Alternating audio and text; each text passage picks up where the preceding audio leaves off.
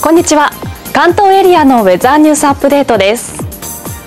今日の関東エリアは朝から蒸し暑くなっています。千葉県千葉市のひらりんさんからは今日は朝から太陽さんさん。気温がどんどん上昇中。蒸し暑くて歩くと汗がいっぱい出てきますとリポートをいただきました。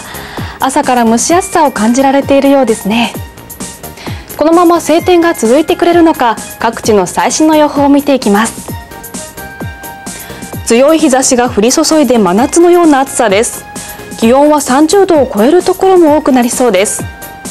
気温が上がる上に湿度も高くかなりの蒸し暑さとなりそうですのでしっかり水分補給をしてください。今日は晴れて真夏の暑さとなりそうです。ただ空にはゆっくりとした天気下り坂のサインも出ているんです。群馬県高山村の島太郎島太郎さんからは大きなハロのリポートが届きました。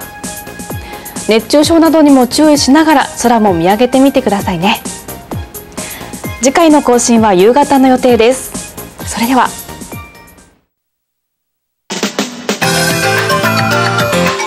わざに